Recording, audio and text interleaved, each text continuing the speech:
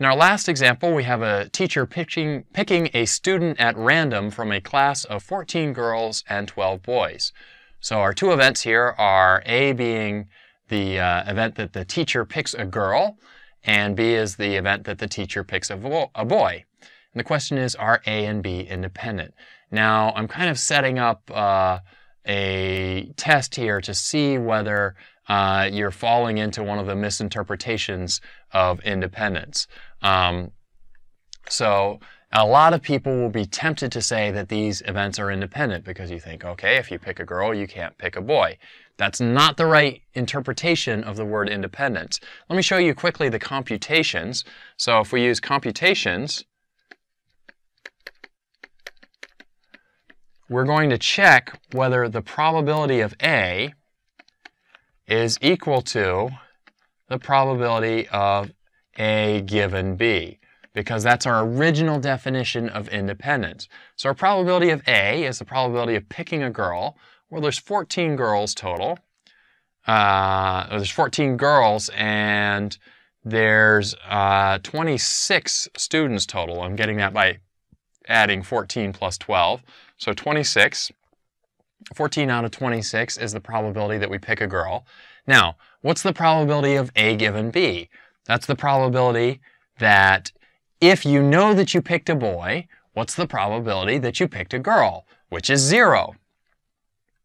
Well, is 14 over 26 equal to zero? Of course not.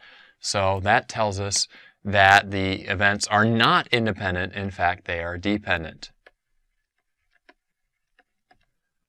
So right away, just from the definition, from the original calculations, we know that the events are, in, are dependent. Sorry, I almost said the wrong thing there. Um, there's a way to think about this intuitively, and I hope that you uh, kind of appreciated that as soon as you read the original problem here. So the way to think about it intuitively here is if you know that B is true, if you know B is true, In other words, if you know that the teacher picked a boy, then you have some new information about whether A might be true. You have very strong new information, information about whether A might be true. Because if you know that the teacher picked a boy, then you know for sure that the teacher did not pick a girl. So you've got some new information about whether the teacher might have picked a girl. The information is that that did not happen. So, in fact, these events are disjoint. There's no overlap between them, which means that if you know one is true, then you know the other one is false. You do get some new information, which means they're not independent, which means they're dependent. So just to remind you, you can approach this problem sort of using your intuition if your intuition's very well trained, um, or using the formulas if you want to be a little more careful. If you use the computations, we're just checking from the original definition of independence. We gave that as the definition uh, in the first slide of this lecture. Checking whether P of A is equal to P of A given B.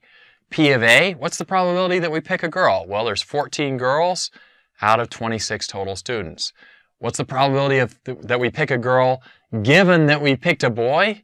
That would be zero, because if we picked a boy, we couldn't have picked a girl. Now, those two numbers didn't come out to be equal to each other, so that's how we know that they're dependent. That's how you do it by the computations. You can also do it by intuition.